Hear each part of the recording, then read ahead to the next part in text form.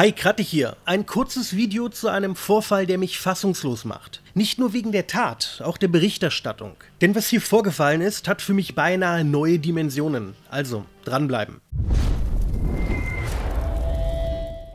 Okay, aber der Reihe nach. In dem beschaulich anmutenden französischen Dorf Crépole südlich von Lyon fand nämlich am Wochenende in der Nacht von Samstag zu Sonntag ein Dorffest statt. Und leider nicht nur das eigentlich ein idyllisches Dörfchen mit ein paar hundert Einwohnern in einer Trüffelregion. Bekannt für seinen Kirchturm. Ein Ort, wo man vermutlich gesagt hätte, hier ist die Welt noch in Ordnung. Also hätte, das ist nämlich nun vorbei, spätestens seit diesem Wochenende. Das ehrenamtliche Festkomitee des Dorfes veranstaltet regelmäßig Dorffeste, so wie auch am vergangenen Wochenende. Es wirkt also wie eine zusammengewachsene, ruhige Gemeinschaft, ein Gegenpool zu größeren Städten, die kosmopolitischer werden.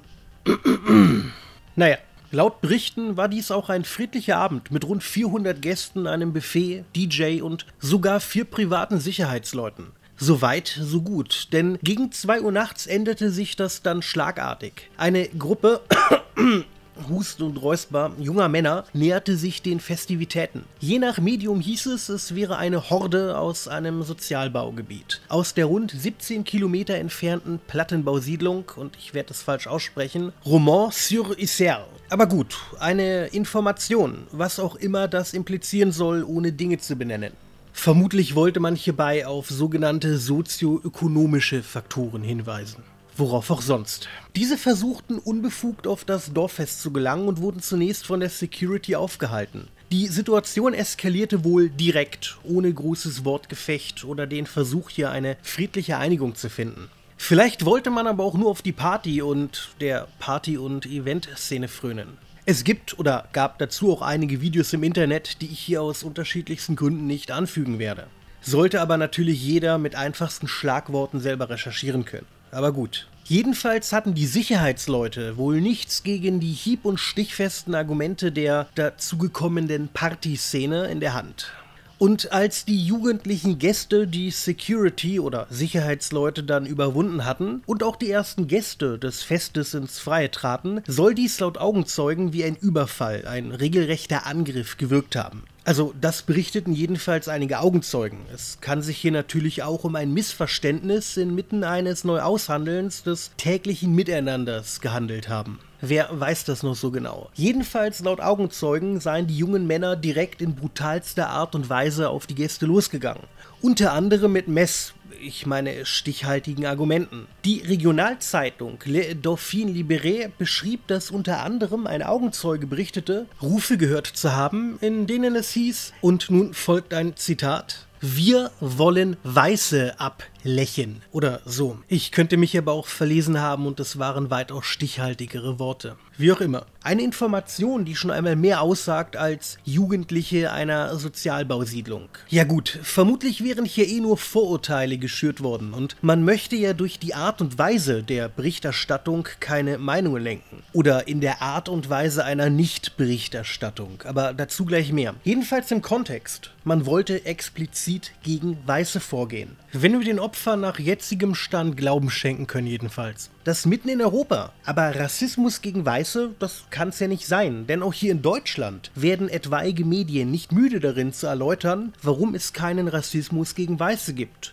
Das wäre lediglich eine Diskriminierung könnte aber nicht in Rassismus münden oder darauf basieren. Nun gut, im Zuge dieser stichhaltigen Diskriminierung verstarb dann auch ein jugendlicher Schüler. Das noch auf dem Weg ins Krankenhaus. Ihm soll wohl die Kehle aufdiskriminiert worden sein. Und um sich die ganze Dimension dieses Einzelvorfalls einmal vor Augen zu führen, 16 weitere Kinder und Jugendliche sind zum Teil durch Stiche Schwerfall, ich meine, diskriminiert worden. 16 Jugendliche bei einer Tat. Das passiert nicht einfach so in einem kurzen Moment der Emotion. Augenzeugen berichten nach, umschrieb die Zeitschrift Le Figaro, dass Jugendliche in Jogginghosen, anbei vielen Dank für die sachdienliche Täterbeschreibung, den Gemeindesaal, in dem das Fest stattfand, umstellt hatten. Und zwar mit Messern bewaffnet. Teilweise sollen dort Klingen von 20 bis 25 Zentimeter Länge bei gewesen sein. Vermutlich Taschenmesser, die man gerade zufällig dabei hatte. Nach der Umstellung sei man blindlings auf Gäste losgegangen. Das ist von Anschlag bis versuchte Massaker einiges, aber sicher nicht wie einige Medien es umschrieben. Unter anderem der Spiegel. Dort schrieb man, dass es sich um eine gewaltsame Auseinandersetzung gehandelt haben soll. Ernsthaft, wen zum Teufel will man mit solch einer Darstellung eigentlich verarschen? Oder besser gefragt, warum? Ein einseitiger Angriff, Überfall oder Anschlag ist keine Auseinandersetzung. Messerangriffe von einer Partei sind auch keine Messerstecherei, denn wir haben hier eine klare Täter- und Opferkonstellation. Das Wort Auseinandersetzung oder Messerstecherei suggeriert zumindest eine zweiseitige Interaktion. Das ist bei solchen Taten, ich meine Diskriminierungen, allerdings einfach nur eine Augenwischerei. Aber gut, wahrscheinlich ist das auch ein Einzelfall. Ach ja, mittlerweile ist man hinsichtlich der Diskriminierung in Krepol auf der Suche nach knapp zwei Dutzend Tätern. Also kein wild gewordener Mensch, der einzeln handelte, aus sich heraus agierte, sondern hier haben wir es wieder. Es seien gruppendynamische Prozesse. Daneben dauert es rund 48 Stunden, bis Politik und Medien den Fall in erwähnenswertem Maß überhaupt aufgriffen. Woran mich dieses Vorgehen erinnert? Ein wenig an die Kölner Silvesternacht. Auch damals hüllten sich Medien sowie die Politik knapp zwei Tage fast vollständig in Schweigen. Auch da stellte sich mir die Frage, warum? Opfer, Augenzeugen, Polizei als auch die Politik wussten ja relativ schnell, was Sache war. Genau wie in diesem Fall. Also jedenfalls im weitesten Sinne. Aus dem französischen Innenministerium kam knapp zwei Tage später erwartbares Politgerede. Das, was hier passiert ist, sei unwürdig oder inakzeptabel. Der französische Innenminister sagte, wir wissen nicht genau, was geschehen ist. Oder besser, wir wissen es nur allzu gut. Aha, na dann. Aber vermutlich ist das Ganze ähnlich wie auch in Deutschland. Ein Teil dieser Antworten könnte die Bevölkerung verunsichern, nicht wahr?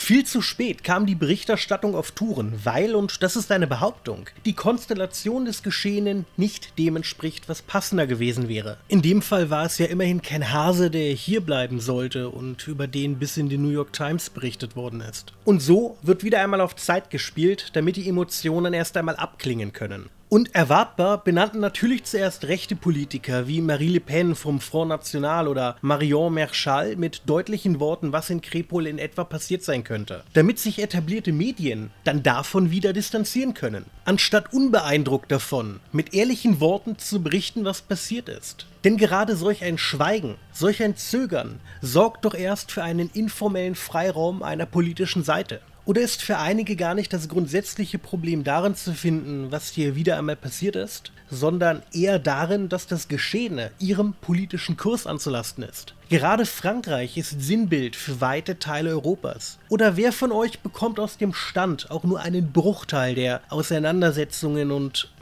Diskriminierungen der letzten Jahre zusammen? Also von Charlie Hebdo über die Diskriminierung im Bataclan in Nizza oder zum Beispiel am Lehrer Samuel Paty sowie vor wenigen Wochen an einem Lehrer im nordfranzösischen Arras. Am Ende wird es ein weiteres, so etwas darf nicht passieren sein. Und es wird wieder passieren, weil die Wurzel all dessen unberührt bleibt. Naja, vielleicht überdramatisiere ich auch. Denn dieses Mal, dieses Mal wird bestimmt etwas passieren. Ciao.